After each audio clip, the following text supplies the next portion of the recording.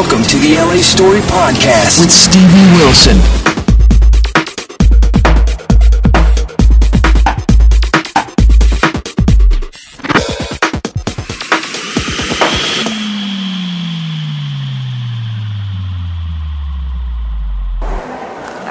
Hey people, this is Stevie for the LA Story, and we're here with Celia Ward Wallace, and that name may not quite be familiar to you yet, but wait till we get done with this. Where we are is you're getting to see the skyline of Long Beach in the Women's Conference here in Southern California. That's in Long Beach. So Celia happens to be here, and we know each other through a networking group called First Tuesday, and that's based out of West Los Angeles and also in South Bay. And if you are in Southern California and are interested in getting to know a pretty groovy bunch of people, then you need to come talk to me and then I'll point you in the right direction. Anyways, that's how I met Celia. Celia has the most interesting book, but the whole point of her book is how she got to it. It's not quite the end point, but there, there's a it's a landmark.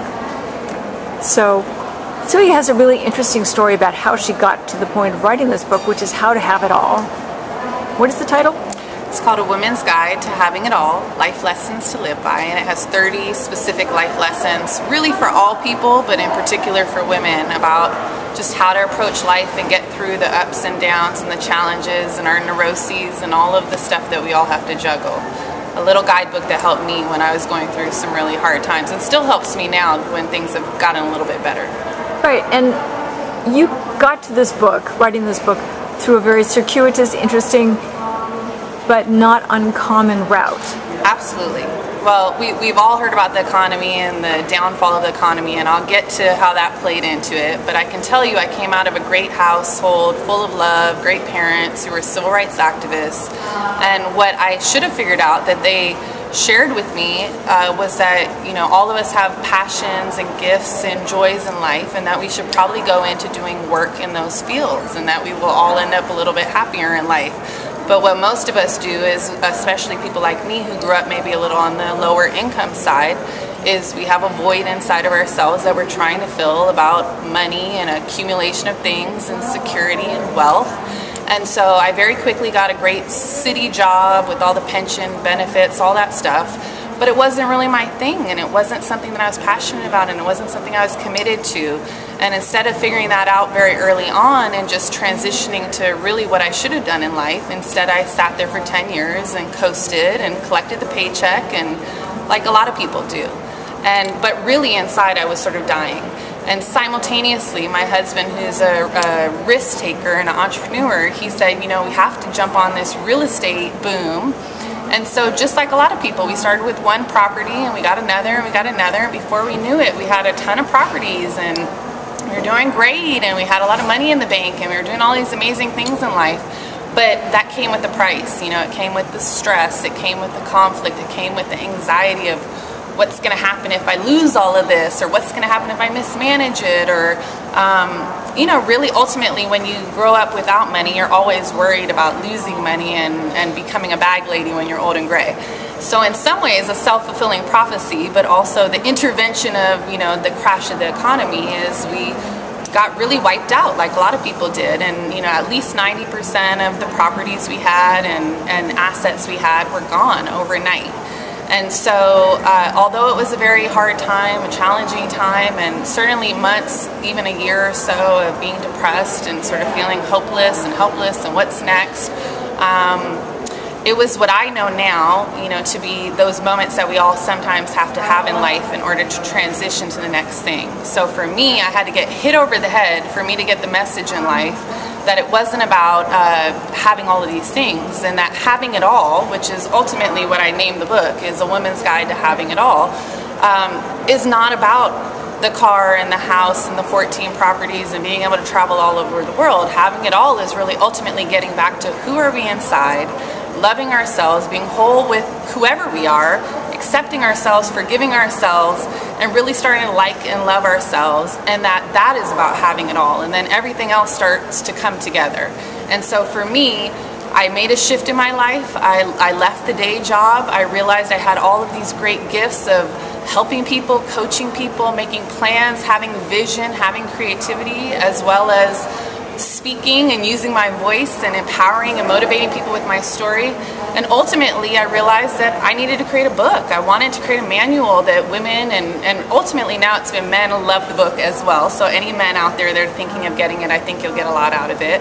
But writing a love letter to women all around the world globally of how can we get through the day? How can we become a better version of ourselves? How can we see beauty all around ourselves? How can we, uh, like you and I have, you know, find common ground and support each other's work right. instead of, uh, you know, breaking each other down or being jealous or envious of each other. And so there's 30 different life lessons that when I was going through my challenges really helped me get through it. And now that I'm in a better place and doing work that I love and really know ultimately I'm where I'm supposed to be, I still come back to it because I'm like everybody else. I'm a lifelong learner and I, you know, you have to keep working at it every single day. Well, that's just it. What women have to realize is that it's not about the competition with the person next door or about not having the things. It's about what we can each give back to each other to be supportive and helpful and not think or feel that we're alone Absolutely. and that there's nobody there for us who would listen to us or help us. And in fact, I was telling somebody that today. I said, You may think that all the things that you're going through, nobody wants to hear, or yeah. they're going to let you down. I said, but I've been there. Yes. And I'm there and I will listen to you. And we all have a story to share. Exactly. We all have a unique story, but there's something in the story that we all have common ground with exactly. and that we can all relate to. And as women in particular, you know, we have a facade where on the outside we want to look like we have it all going on. You know, we want to look great, we want to be the best friend, we want to have a great partner in life, we want to have a great job, we want to be the best mom in the world, and everything needs to be knocking it out the park at the 100% level. And although that's great, it's not really realistic. And inside, we sort of feel lonely and alone, like we don't want anybody to see that we're stressed out or that we're resentful or that we don't have it all.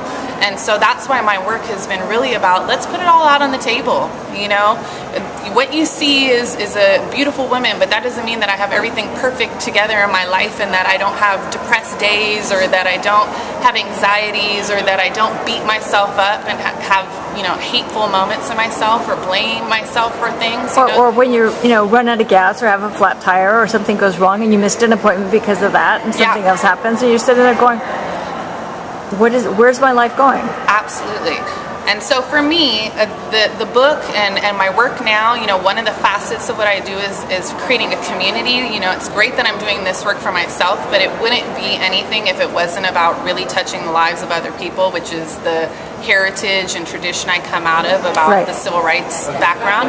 And so, you know, I thought, you know, it's great that I'm getting the notoriety and the book is getting well received, but ultimately I want to be able to touch people's lives and build a community. And so we created the Empowering Women Everyday Community.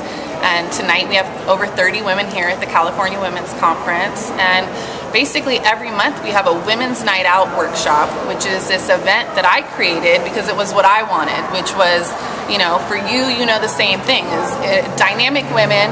We want to network, we want to socialize, we want to have a drink, we want to do personal and professional development, and there's no way that we have a night every single, you know, in our month for five, four different things. Right. And so I said, let me put that all into one night have women come for three or four hours, do a workshop. We're working on one particular thing. They're also meeting like minded women who are supportive, non competitive, who want to make a difference in the world and use their gifts to reach other people.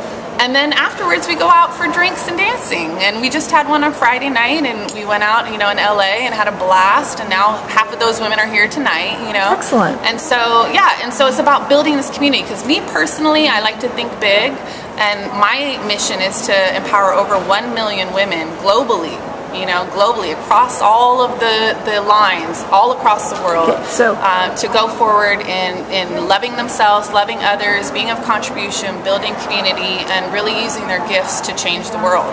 Okay, so you must have a website for this.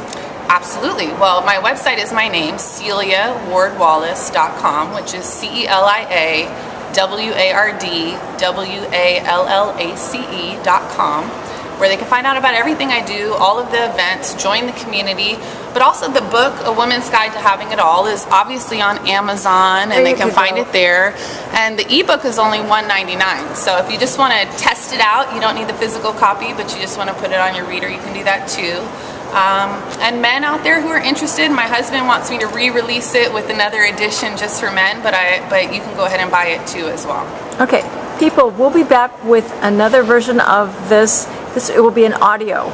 Okay, so while you're watching this now as a video, we will have an audio um, podcast, and this will also be available, uh, downloadable on iTunes as an MP3 as well. So this is Stevie for the LA Story. We want to thank Celia Ward Wallace for her time right now on video. We're going to come back with an audio. So see you soon, people. Bye. Thanks for joining Stevie Wilson on LA Story. Feel free to check out other podcasts and videos. Bookmark it now. www.la-story.com.